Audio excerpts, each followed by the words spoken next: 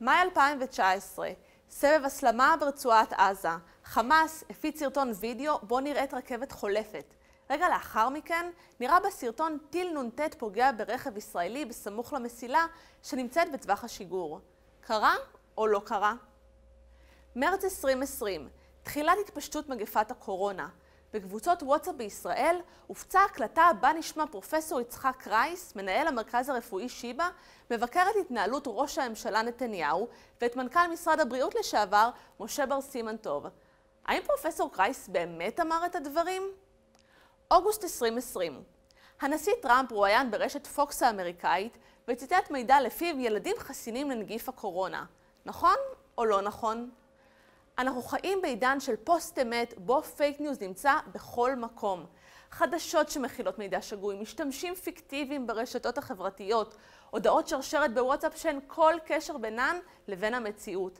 אנחנו פשוט כבר לא יודעים מה המציאות ומה מומצא. היכולת להבחין בין אמת ושקר הולכת ונהיית קשה. מה הסכנה הטמונה בכך?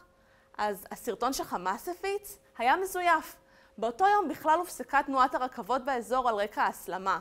בכל זאת, הסרטון שודר בערוצי הטלוויזיה הישראלית, וחלקם אף זרעו בהלה מיותרת בציבור, כשציינו שהטיל עלול היה לפגוע ברכבת ולגרום לאבדות. חישבו איך סרטון כזה יכול להשפיע על מורל החיילים הלוחמים והעורף בזמן הסלמה. ומה באמת קרה בשיבא? דוברת המרכז הרפואי מסרה בתגובה שההקלטה של המנהל לכאורה היא פייק ניוז וקראה לציבור לא להפיץ ידיעות מוטעות ומטעות. תארו לכם את הסכנה לבריאות הציבור מהקלטה מזויפת אחרת שהייתה מגיעה למיליוני אזרחים וקוראת להם שלא להתחסן נגד הקורונה בגלל תופעות לוואי חמורות שהתגלו בחיסון. וטראמפ? הוא אכן התראיין לרשת פוקס ניוז וטען שילדים כמעט חסינים לנגיף הקורונה. אלא שהמידע הזה היה שקרי. ילדים אינם חסינים לנגיף ויכולים להידבק ולהדביק. טראמפ פרסם את הריאיון מרשת פוקס ניוז בחשבון הפייסבוק שלו, ובתגובה, הרשת החברתית הסירה בפעם הראשונה פוסט של הנשיא, בטענה שהוא מפר את המדיניות שלו בנוגע להפצת דיסאינפורמציה מזיקה על הנגיף. זו לא הייתה הפעם הראשונה, וכידוע, גם לא האחרונה, בה טראמפ פרסם בפייסבוק דברים שקריים או חסרי ביסוס. אך הפעם האמירה שלו הייתה עלולה לעלות בחיי אדם, ובפייסבוק החליטו לנקוט בפעולה. פייק ניוז היה קיים תמיד. העניין הוא שבשנים האחרונות הוא העלה הילוך, בין היתר בגלל התחזקות הרשתות החברתיות, החלשות גופי התקשורת שאיבדו את המודל העסקי שלהם בעידן הדיגיטלי, ועלייה של מנהיגים פופוליסטיים לשלטון ברחבי העולם. אז למה זו בעיה? בעיקר כי תהליכי קבלת ההחלטות שלנו מושפעים מהמידע שאנחנו נחשפים אליו. אנחנו מתמודדים עם זה בחיים הפרטיים שלנו כאזרחים, וזה משפיע גם על מקבלי ההחלטות שעומדים בראש המדינה. אנחנו פשוט נמשכים לפייק ניוז. פייק ניוז יותר ויראלי מחדשות אמיתיות. בין היתר, בגלל שהוא פועל על הרגש שלנו. ב-2016, סיפורים שקריים בפייסבוק על הבחירות לנשיאות האמריקאית קיבלו יותר לייקים ושיתופים מסיפורים אמיתיים. אל ייאוש. אמנם נדמה שאנחנו תחת מתקפת פייק ניוז ושמדובר בקרב אבוד, אבל ישנם כמה דברים שכל אחד ואחת יכולים לעשות כדי להתמודד עם הבעיה. כעיתונאית, חוקרת ואשת טכנולוגיה, הנה שלושה צעדים שאני ממליצה עליהם. אתם קוראים ידיעה והיא נראית לכם חשודה או מוזרה? לא הגיוני שפוליטיקאי יגיד אמירה מסוימת שעומדת בסתירה לעמדותיו? קיבלתם הודעת שרשרת בוואטסאפ עם מידע סנסציוני? מה עושים? קודם כל, ייצרו. הטילו ספק. עכשיו, ערכו בעצמכם הליך זריז של בדיקת העובדות. היכן פורסמה הידיעה והאם היא פורסמה בעוד מקומות? מתי נכתבה הידיעה? האם קראתם רק את הכותרת או את כל הדיווח? האם יש כלי תקשורת בהם נטען אחרת? תופתעו בוודאי לגלות, אבל כששאלו בני נוער אמריקאים על איזה מקורות הם סומכים לצריכת מידע חדשותי ברשתות החברתיות, תוצאות הסקר העלו שאחד המקורות הוא הזמרת ביונסה. האם הייתם סומכים על ביונסה שתעדכן אתכם בענייני הבחירות? או לגבי היערכות ישראל למלחמה בגזרת הצפון? במילים אחרות, כמו שלא תכניסו לגוף מזון שאתם לא יודעים מהיכן הוא מגיע, אנחנו ממליצים לבדוק טוב טוב מאיפה מגיעות החדשות שאתם צורכים.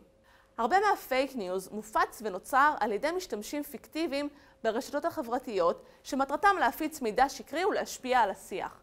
הכירו למשל את ריטה.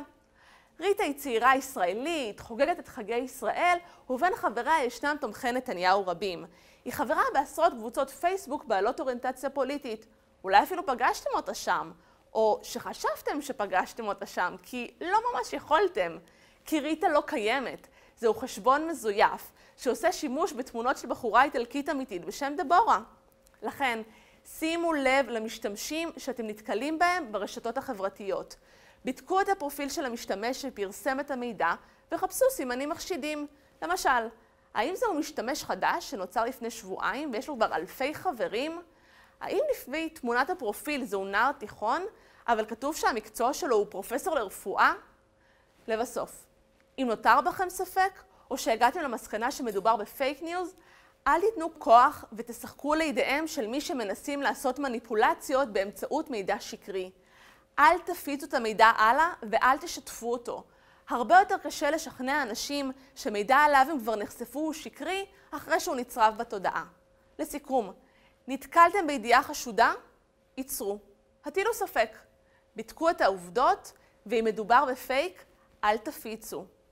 רוצים להפוך לציידי פייקים? אוהבים משימות בלשות? כתבתי מדריך מלא לזיהוי ולהתמודדות עם פייק ניוז בתקשורת ולזיהוי משתמשים פיקטיביים ברשתות החברתיות. אתם יכולים למצוא אותו באתר שלנו ב-INSS ולשפר את הכישורים שלכם בתחום. המאבק בפייק ניוז רחוק מסיום, והוא כנראה תמיד יהיה חלק מחיינו ברמה כזו או אחרת. לאחרונה, אנו רואים את התערבות הרשתות החברתיות בחסימת פייק ניוז, והדבר מעורר דיון בסוגיה מורכבת שנשארת פתוחה. מי מחליט מה אמת ומה שקר? למי יש מנדט על האמת? זה יהיה הדיון שימשיך להעסיק אותנו בשנים הקרובות. ובינתיים, אתם כבר יודעים, אל תפיצו פייק ניוז.